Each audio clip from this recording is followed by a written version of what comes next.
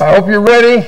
This is one of my favorite passages in the entire Bible. And you may think that's weird because it's very dark. It's a very, you know, telling passage, but it's something that you need to understand because unless you understand this passage, you won't understand what's going on in this world. You won't understand what's going on with you. You won't understand the power of God that's actually working in you already. So we're in Ephesians chapter 2. Did you notice that? Hey, we have changed chapters, brand new chapter. But notice how the apostle starts it out. He starts it out with the word and. So this is connected. There's really no chapter break here. It's the same passage, just continued on into the next chapter. Uh, it says this And you he made alive who were dead in trespasses and sins in which you once walked according to the course of this world, according to the prince of the power of the air, the spirit who now works in the sons of disobedience, among whom also we we all once conducted ourselves in the lusts of the flesh, fulfilling the desires of the flesh and of the mind, and were by nature children of wrath, just as the others. But God. Is there a greater statement than that, you know? But God, who is rich in mercy because of his great love with which he loved us, even when we were dead in trespasses, made us alive together with Christ. By grace you have been saved. And it goes on. We need to remind ourselves what we were talking about because we've been in the middle of this prayer that Paul has been praying. He prayed that we might know what is the hope of our calling. I hope you guys are understanding that. Just this amazing grace that we have been called into and the hope that is there. And what is the riches of the inheritance? Have you guys been thinking about your future, where you're going? What God has done for you, where He's bringing you, where you're seated right now in the heavenlies with Christ. He's going to talk about that later.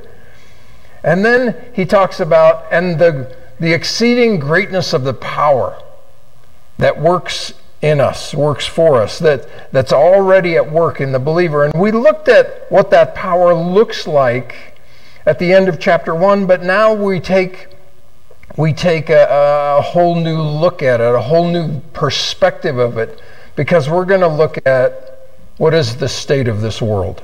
What is the state of mankind since the fall? And you must bear in mind that everything that happens to a Christian happens because of the power of God in that Christian. But there's another power. There's another one out there. And, and we get kind of introduced to this. We get introduced to it in, in just this amazing way.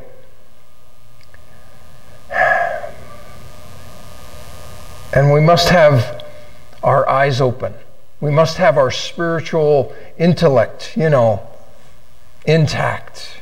We've got to pray that the Holy Spirit would give us eyes to see and ears to hear. We've got to have that spirit of wisdom and revelation because if you're not a believer, if you if you're just I don't know, then this may not make sense to you. And what you need to do is you need to ask God, God, show me this. Reveal this to me. Make it real to me. Notice this opening statement.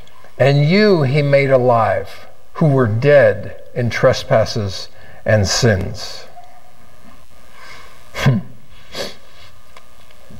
God has overcome every obstacle to bring you to Himself. Even your dead condition.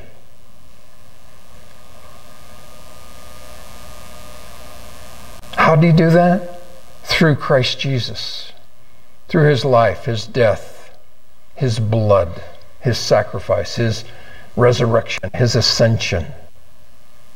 And whose plan is this? Oh, it is the Father's plan. It is God's plan, and it is His work. You know, we're going to read later on in, in verse 8, you know, that we are, or verse 10, we are His workmanship. We're His work. We're not our work. We're His work. So we gotta we gotta get to this place where we stop bragging. We stop looking at ourselves with kind of a braggadocious spirit. Well, uh, at least I'm a Christian. Look at those other people out there. They, they don't even believe. At least I believe in God. They, you know, and we got to stop doing that. Why do you believe? Because God gave you the power and the understanding to believe. That's your only hope, you know. So it's all His doing. It's a free gift to sinners, it's a free gift to the ungodly. So the apostle starts out today in this very dark place. I don't know if you've ever been ring shopping. Anybody ever shop for a diamond ring for like your wife? You notice when you go in, you know, you go into Ingram's Jewelers or whoever, you know, and you, you I want to look at rings, and they always bring them out. Oh, let me bring them out. And they've got all of these little lights around, but they always put them on a very dark background. Have you noticed that? Why? Because they want that thing to sparkle, they want that thing to shine. That's what Paul wants to do with the gospel. That's what Paul wants to do with salvation. And so he paints this very dark background. But it's not just him painting it, he's describing reality. so let's start our study in these first three verses. And you he made alive who were dead in trespasses and sins, in which you once walked Get this picture. According to the course of this world, this world has a course. According to the prince of the power of the air, the spirit who now works in the sons of disobedience, among whom also we all once conducted ourselves. So we were all there. We have all walked this path, fulfilling the lust of the flesh and the desires of our flesh and of our mind. And we're by nature, now notice this, we're by nature children of wrath, just as everybody else is. Notice Paul is speaking to the Ephesian church. He's speaking to Christians. He's speaking to believers. They have faith in the Lord Jesus Christ. They are saved. They are sealed with the Holy Spirit. And yet, Paul knows this those guys are just babes in Christ. Those guys are just learning. They're just getting their, their feet under them. They're just learning what Christianity is. And Paul wants them to grow on to maturity to really get a hold of how great this salvation is and what, a, what an amazing message it is. And he wants them to understand fully the greatness of the power it took to bring them to the place that they are. You know, Paul will say in Romans 1:16, "For I am not ashamed of the gospel of Christ." Really what he's saying is, "Man, I am so excited. I am so thrilled about it." But he uses that negative to really bring it out. And you go, Well, why are you so excited about that, Paul? And he says, For it is the power of God to salvation for everyone who believes. The gospel is the power of God. How do we measure that power? How do you understand what that power has really done? Well, first you've got to have spiritual eyes or else you'll reject it. You won't see the need for it. You won't see how glorious it is. So salvation always comes right to where you are. You don't have to move, you don't have to clean up, you don't have to do anything. Salvation always comes to you right where you are and then lifts us from that place and seats us with Christ in the heavenlies. That's a, that's a huge transition there. But some don't like the way Paul does this because he's going to start out very dark, very depressing, very ugly. Oh, I hate that stuff. Mark, I, I just want to be happy and joyful and positive, And I, I don't want to get into all that negative stuff. I don't know if you understand this. God always uses the negative and the positive to get your attention. We'll never have a true concept of salvation if we don't have a true concept of sin and of the fall and of what has happened to mankind. Why must we be redeemed? You might ask that question. Why must we be born again? Why, why do we need to be saved? Why can't we just try a little harder and be a little better than I was yesterday and just, you know, kind of work my way into betterness? Why? Because there's this thing called sin. I don't know if you're familiar with it. You will never understand the incarnation of Christ. You will never understand the cross unless you understand what sin and the fall have done to mankind. Because the world is trying to lie to you every day. Oh, we're all good people. And as long as we try hard, and as long as we do good, and as long as we're, you know, nice, you're going to be just fine. We are good people. We are well meaning people. We, we love one another. They can't even spell love. They have no idea what love even looks like, and yet that's what they're telling you. I think it's funny. You have these bands and they come out with these songs. Why can't we all just get along? Why can't we all just love one another? And there's five guys in the band and they can't stay together for six months. What, what what's your song and what's your message? I, I don't get it. Why is man the way he is today? Why are there wars? Why is there widespread hunger? Why is there a food crisis right now? Billions of people on planet Earth don't know where their next meal is coming from. Do you realize that today? India, Africa, there's a huge shortage of food going on. Think about Afghanistan. You think about all of these places that I can't think of the name of the place, the place where Russia invaded. Ukraine.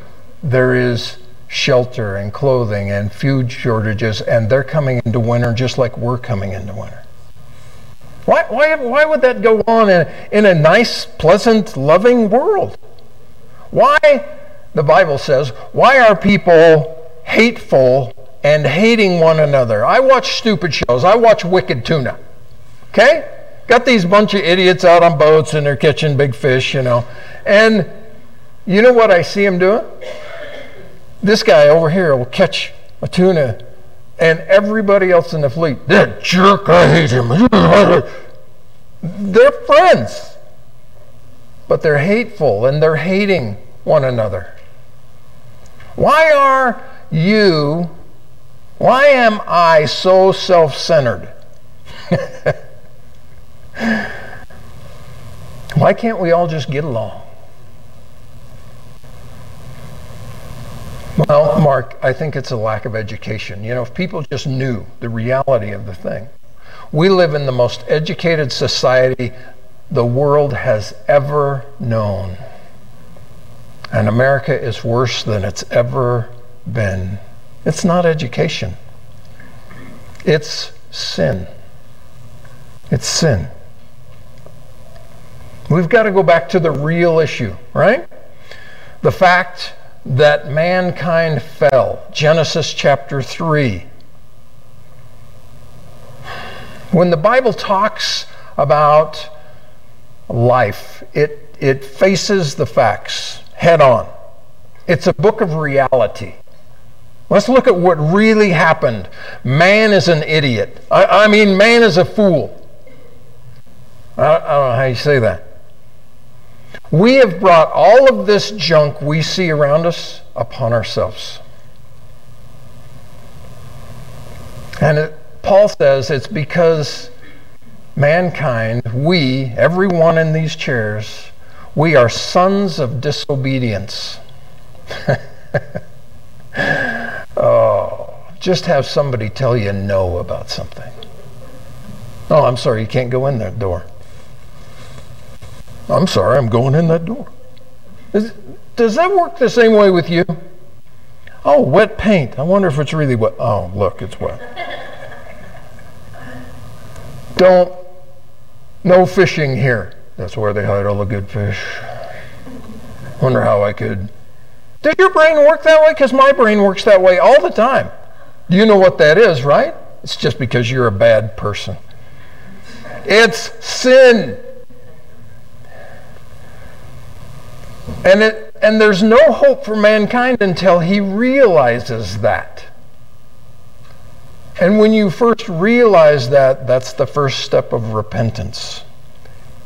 Because you begin to change the way you think. Show me someone in this world who boasts about their morality about their goodness and their good works and their love for other people, and I will show you an unrepentant sinner. You're a liar because I know what goes on inside of your heart because it goes on inside of my heart. I know what goes inside of your mind because it goes on inside of my mind. The reality is, man is fallen, man is sinful, man is corrupted. And we are helpless and we are hopeless in this world. We come out of the factory slaves of sin. And that truth, when you first face that truth, it um, it'll break you. It's very humiliating. It's very humbling. Oh, how hard it is to get over that stone of stumbling that is, you can't do anything for yourself. You're broken and you're empty and you can't help it. Hmm. That's why most people won't accept that. Oh, but Mark, you don't understand me. I'm a, I'm a good person compared to so and so. I'm really a nice guy, you know? what cracks me up about that thing is they're they're blind to a couple of things. First, your comparison is wrong because you're comparing yourself with the guy next to you or with the lady across the street. Uh, I'm sorry, that's the wrong comparison. Compare yourself to the Son of God. Compare yourself to Jesus Christ, our Lord. Now you can compare all you want. Just go for it. Compare. because, you know, when you get done comparing, you will sit there speechless and guilty before God. Because none are righteous, no, not one. And then your definition of good is wrong. Oh, I'm a good person. You know, a guy came up to Jesus one day and said, Hey, good teacher. And, and Jesus interrupts him right there. Why do you call me good? There's only one good, and that is God. Oh, you're, you're saying, I'm a good person. You're saying you're a God person? You're saying you're equal with God? I'm sorry, it says, all have fallen short. All have fallen short. Hmm. See, the biblical truth is more pessimistic, it's more depressing, but at the same time, it's more optimistic than any other worldview out there you know, mankind sits around. Can a utopian society actually exist? How come we can't seem to make it? You know, we bring in the finances, we have the money, we have the all the tools, all the toys, all the houses, all the stuff. We have everything that anybody could ever want and ever desire. Is it utopia? No, it's the worst that's ever been. So it's very pessimistic. But at the same time, it's the only truly optimistic truth that there is. Because though we are sinners and though we are dead spiritually, though we are separated from God and though we are in this condemned place, yet there is a God who has a power to take you from that place and bring you to Himself, to raise you up to the heavens with Him. That's what we're going to talk about. So, the apostle in these first three verses gives us four basic main topics, if you will. Firstly, he describes man in that sinful state. This is what sin looks like. Secondly, he explains that sinful state and why man is there. Thirdly, he tells us what this sinful state leads to. This is where you're going. This is where you're headed. And fourthly, what's what God's view of man in that state is. So, what is man's condition in sin? Dead. That's man's condition in sin. and you he made alive who were dead in trespasses and sins. Let me read this in another way because you might notice if you have a Bible in your hands, you might look down at your Bible and you'll see, and you, and then he made alive is in italics, which means it's not in the original. They added those words to try to make it flow, try to make it read right. Now, it's going to say that in a few verses, but it really doesn't say it here. Let me read it like this And you who were dead. well, that, that cuts right through it, right? And it's not in trespasses, but on account of trespasses, on account of sin. It's you're dead because you were doing this. And that word dead, doesn't it just stick out to you? Well, I'm not dead. Dead means no life. Dead means dead, you know? Of course, he's dealing with spiritual deadness, not physical here. He's teaching us that the life of the unbeliever is a living death.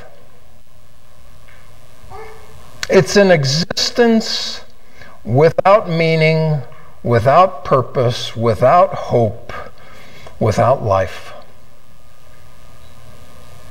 Notice how strong that word is dead.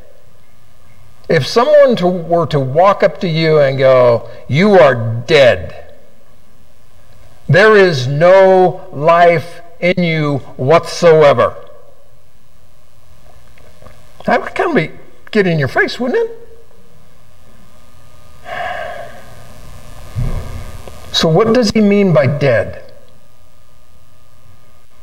He means the exact opposite of life. John 17, 3.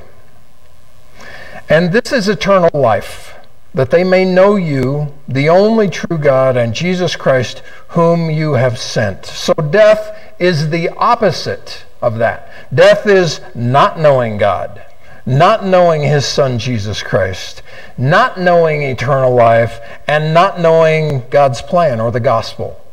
The opposite of that is dead. God is the author of life. So life is to know God, to be in a relationship with Him, to enjoy Him, to correspond with Him, to relate to Him, to live with Him, to share His life with Him. So you can define death as the opposite of that. Ephesians 2:12 that at that time you were without Christ, being aliens from the commonwealth of Israel and strangers from the covenants and promises, having no hope and without God in the world that's dead. The second thing this verse tells us, or this passage tells us, is that the dead man is ignorant of spiritual things, of godly things. Romans 8 5 says the same thing. For those who live according to the flesh set their mind on the things of the flesh, but those who live according to the Spirit set their mind on the things of the Spirit. So, what it tells us is these dead people, these unsaved people, they set their minds, they pursue in this life the things of this world money, sex, alcohol, lifestyle position. They have their minds consumed with that. But the Christian, you run across a Christian and they're like, man, I just listened to the sermon the other day. You what? I was just reading in my Bible yesterday. You, you what? You see where they're pursuing? And the world, the world looks at you and shakes its head and goes, Oh man, that stuff is so boring. Are you kidding me? You read that Bible. I, I tried that one time. Mercy, you know? I got like two chapters in. They can't help it. They can't see anything in it. They don't have eyes to see it. They won't understand it. They've got no draw to it. So they don't just find it boring. You might notice this. They actually want to fight against it. They want to fight against you. They hate spiritual things. And of course, some of them still want their religion as long as they can kind of control that religion. We want to control what you preach and how you preach it. And you hear him say, Well, I really like my church. I go there and it makes me feel good. I, I got news for you, man. You read the Bible, you read it seriously, and there are times you walk away from that not feeling too good. Romans 8 7, it says, Because the carnal mind, that natural mind, that one that came out of the womb, is enmity, and enmity means at war with, is enmity against God. For it is not subject to the law of God, nor indeed can be. You know, you, you want an example of this. Modern example. Take that program called The Chosen, that mini series that's going on now about Jesus and uh, it's beautifully done. There's great characters in it. You know, they, they've really, you know, it's interesting, it's fun, its scenery is great. You, you get all of this background, all of this stuff. And I've heard these rave reviews. Oh, Mark, you got to watch that because, you know, I'm learning so much about Jesus and I'm seeing so much about this and so much about that. But but, uh, you know, I've even had pastors at a pastor's conference tell me, oh, man, you need to watch that. It's so op- eye opening and it's so plain and so clear. It's a must watch. So, Brendan and I sat down last year and we watched a few of the first series, you know. And it left me wanting. It was interesting because I noticed the first thing I caught was Every time Jesus did a miracle, they had changed the location. They, they did the miracle under different circumstances and they changed the outcome of the, mir- the miracle, the, the meaning, the parable of the miracle. They had you focusing on the wrong things. And I, I, I was questioning that.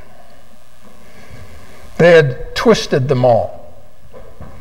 They had some scenes and some places where they had Jesus doing unbiblical things. And I was scratching my head going, what? I, I, you know, and they want to write that off as well. We have to add life. We have to ad lib in a bunch of stuff to make this a series, to make this a movie. And my question is, how do you add life to the living Word of God? That's an impossible thing. And then Two days ago, Jonah contacted me and he goes, Hey, have you watched the, the series three trailer for The Chosen? I said, No. And he goes, Oh, they have Jesus doing this. And so I brought up the season three trailer and I watched it. And sure enough, they have Jesus proclaiming, I am the law of Moses. Now, Jesus has a lot of I am statements in the Bible. It's amazing. That's not one of them. And, and I scratch my head and I go, What's going on with that? Oh, you know where that statement came from Book of Mormon. So I guess if you're one of the financiers of this program that goes on, you have the right to stick words in Jesus' mouth.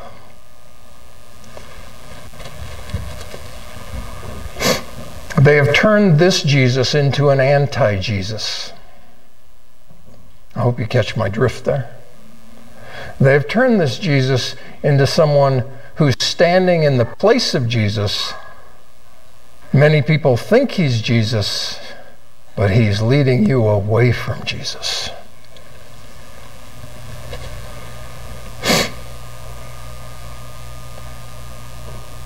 But the world loves it. The world can't get enough of it. Why? Because it's a Jesus that they can make do what they want to do and say what they want it to say. Isn't that sad? But it's true.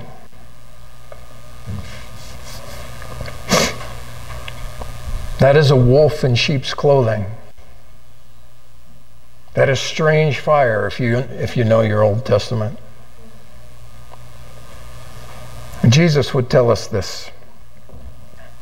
Take heed that no one deceive you, for many will come in my name, saying, I am the Christ, and will deceive many. They use the image of Jesus and his name to deceive. Hmm.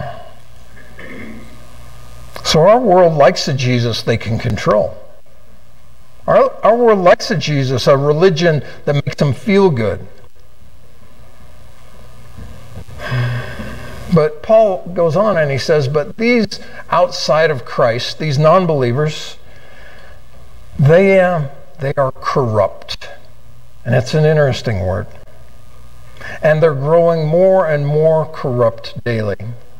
And, and I don't want to ruin your breakfast or anything, but just think of a dead and then think of it corrupting. That's the picture. They delight in evil. They delight in their dirty jokes, in their immoral conversations, their impure thoughts. After a big weekend being drunk and chasing girls and stuff, they will come back to the tribe at work and they'll share every detail of what happened that weekend.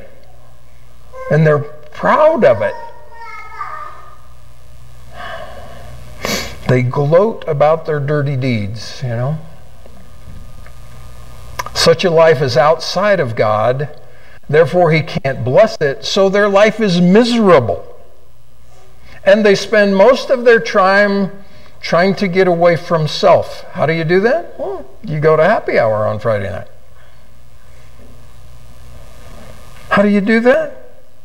Well, sex, drugs, rock and roll gets to the point where suicide comes in. Do you realize that that is what you are and who you are by nature? That is how you came out of the factory of your mother's womb.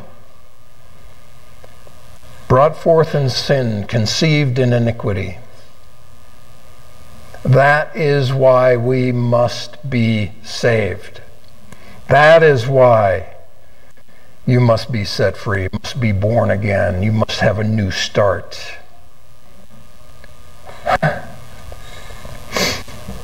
Are you beginning to see the measure of the power of God it took you to get you to sit here and to listen to this and to hear it?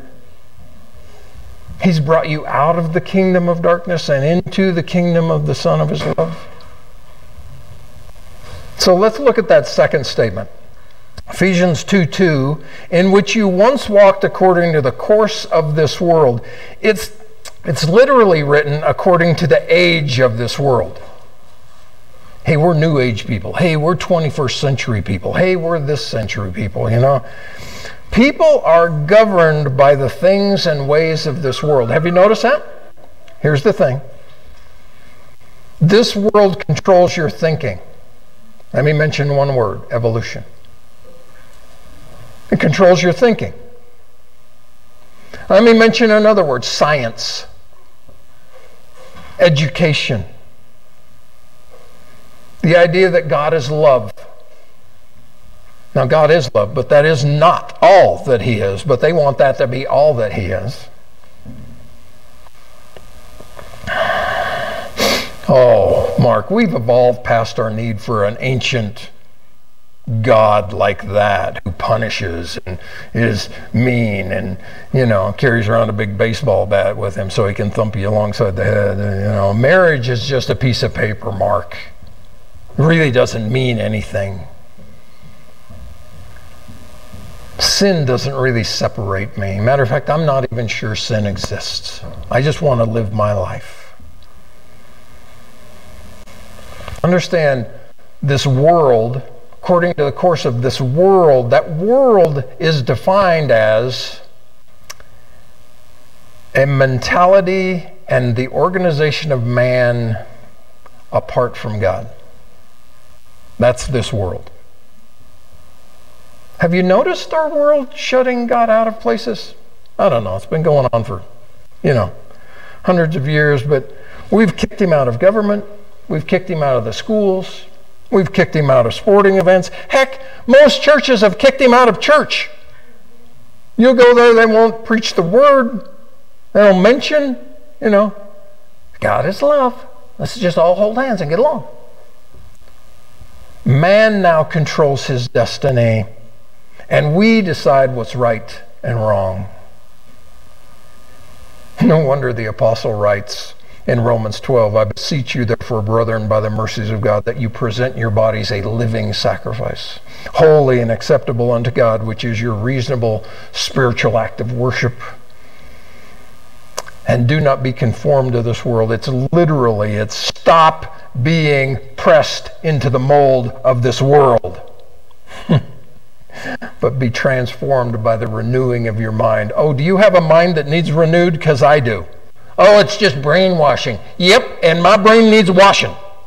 Lots of it. Stop being squeezed into this world's mold.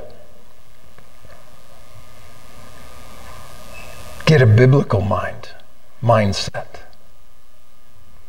1 John 2 15 says, Do not love the world. What was our definition of the world? All of this stuff that wants to just be man without God, organizations without God.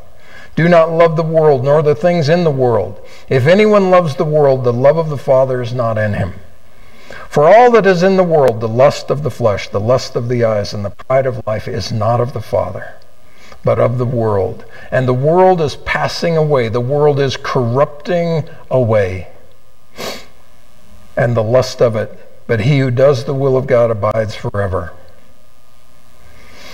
Isn't it so sad as you, as a Christian, walk around this world and you see people buying into what this world is selling? Their whole life is about everything that's going on here in the now. their appearance is controlled by what this world thinks. I've got to have the latest fashions. I've got to dress like this. I've got to be like this. I've got to wear my hair like that.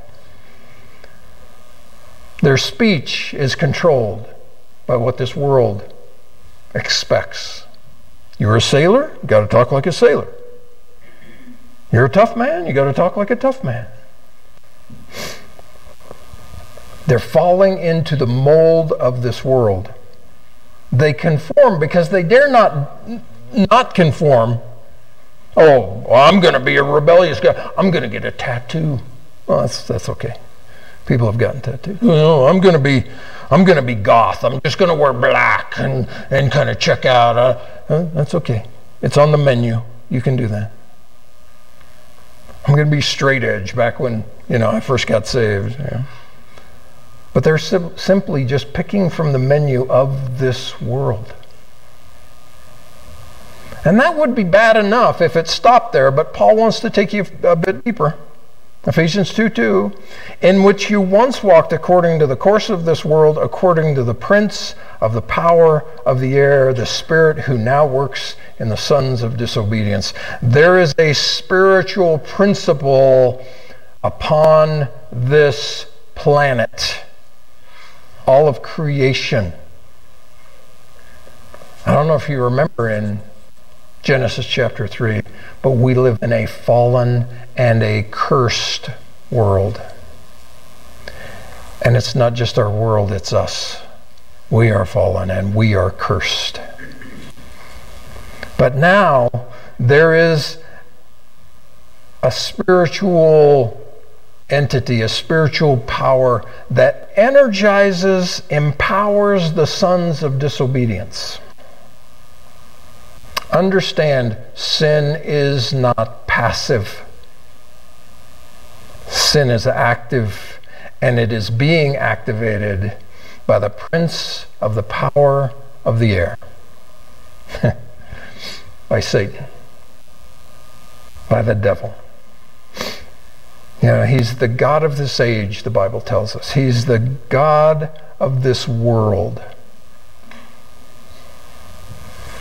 So that should totally change your mind when you're looking at the world.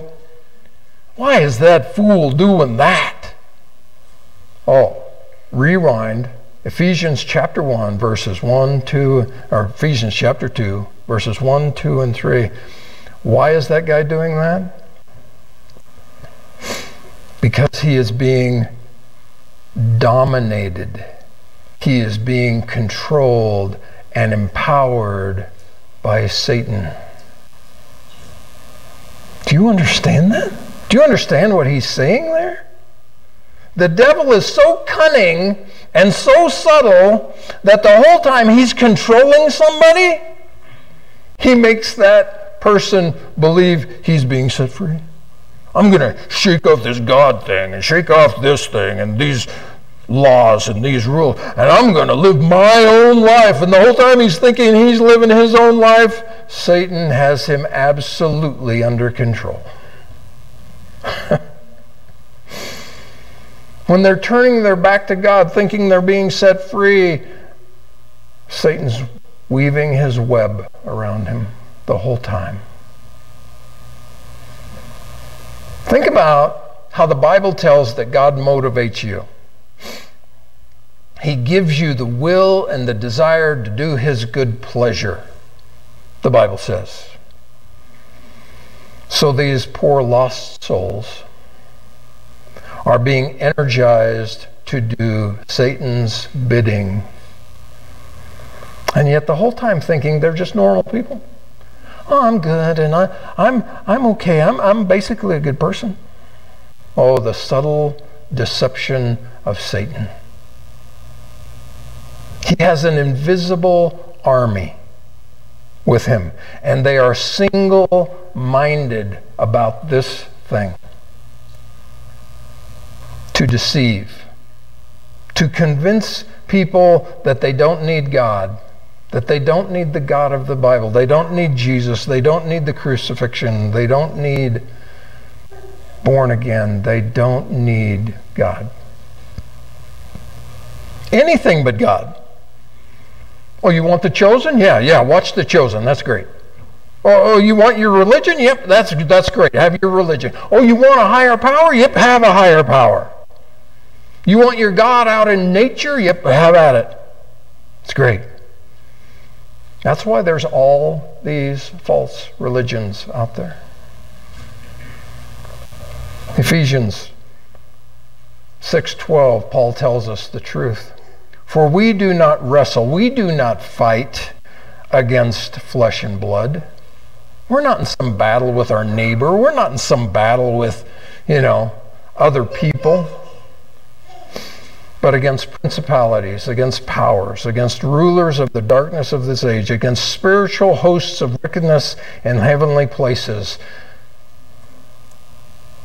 We wrestle against a spiritual enemy, an unseen enemy.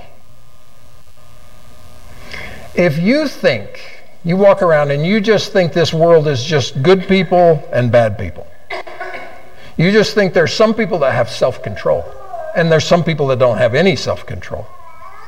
If that's the way you look at this world, you are deceived. For all have sinned and fallen short of the glory of God. There are none righteous, no, not one. Why? Because we all came into this world through Adam's blood, cursed, under sin. And we all choose daily to sin. Oh, Mark, that seems harsh. No. Sometimes it takes me upwards of 10, 15 minutes after I get up in the morning to sin.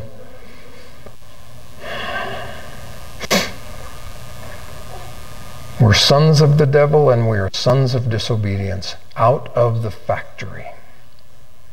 You must be born again to become a son of God. This prince of the power of the air.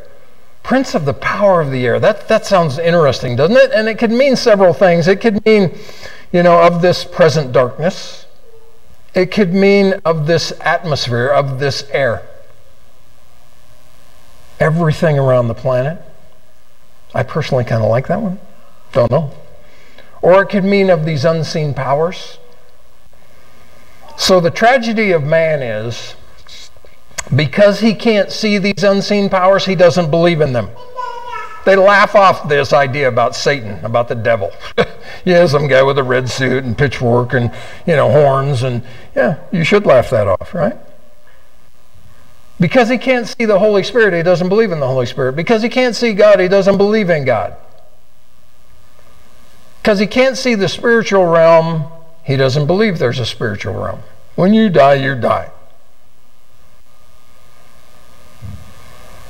They're without spiritual understanding. 1 Corinthians 2:14. But the natural man does not receive the things of the spirit of God for they are foolishness to him. They're unseen. They're just, show me. Give me a proof.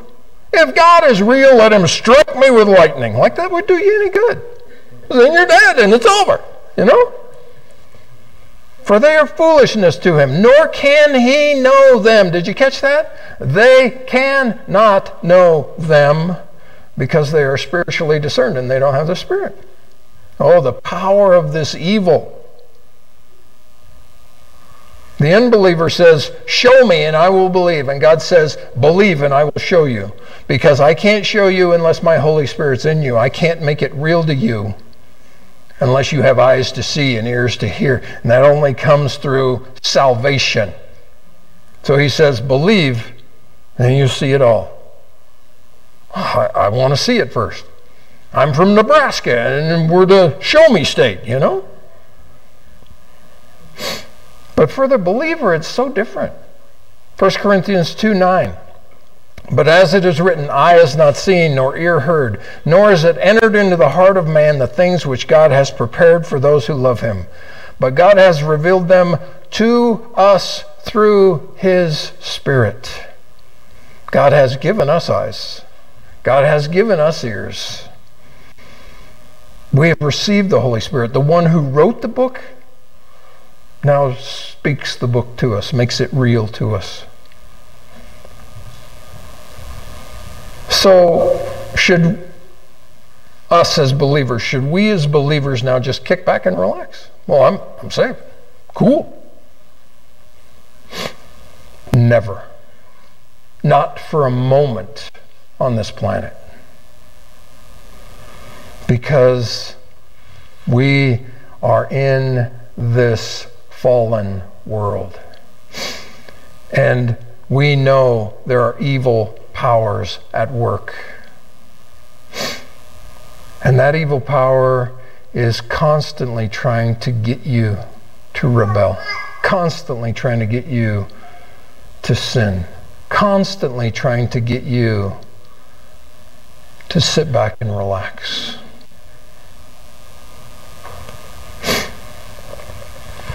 He's constantly perverting your thoughts. Have you ever noticed that? He's constantly bringing ugly pictures into your mind. He's twisting our actions. He's misusing our relaxation. And the whole while, the rest of the world is being herded into hell.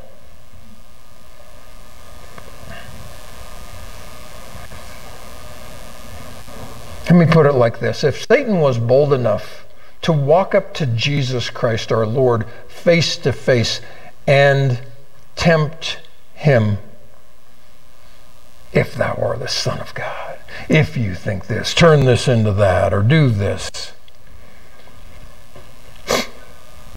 Are you foolish enough to think he's not going to stand up to you, walk right up to your face and tempt you?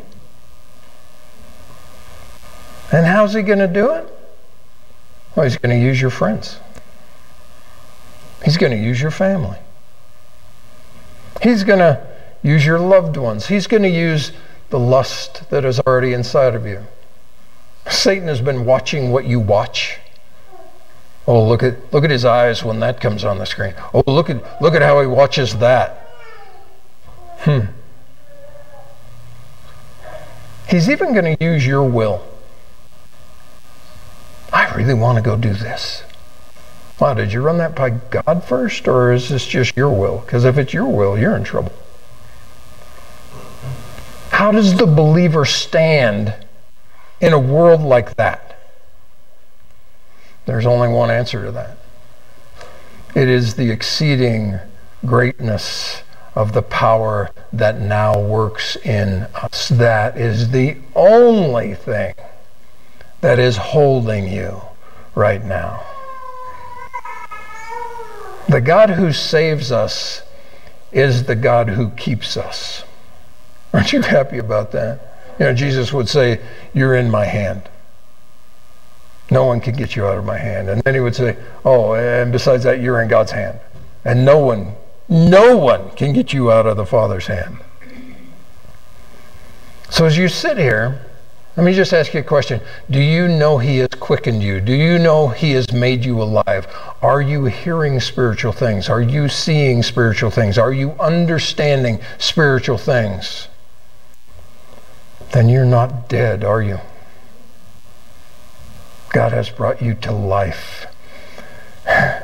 And if He has quickened you, then you need to trust Him that his power will never leave you, it will never forsake you. That he who has begun a good work in you will complete it until the day of Jesus Christ. That is where the Christian stands. Come hell or, or high water, I stand in Christ Jesus because I'm hanging on to him? No. Because he's hanging on to me. I stand there because He has begun this work and He will complete this work, and all my hope is in Him. If Mark Paulsen, if you're there, and Mark Paulsen ever comes into the doors of heaven, you turn around and you praise Jesus. Because it certainly isn't because I made it there. It's because he drugged me there. Oh, Father. How do we but praise your name? How do we but, but just stand up and say thank you, praise you? God, you who have taken me from the darkness of this chapter, from the darkness of being reigned over and ruled over and in slavery to sin and to Satan You've brought me out of that. You've brought me into the kingdom of the Son of your love. And I have nothing to fear. But I have much to do. Because everybody I've ever known, all my friends, all my work cohorts, all my family, oh Lord Jesus, they need you. Oh, Father, open their eyes. Oh, God, save. Oh, God, open their ears that they might see, that they might hear, that they might understand and be saved. God, help us to share. Help us to care. Help us to love the way that you loved when you so loved the world that you gave. You gave of everything you had. Lord, drive us to that place. In Jesus' name we pray. Amen.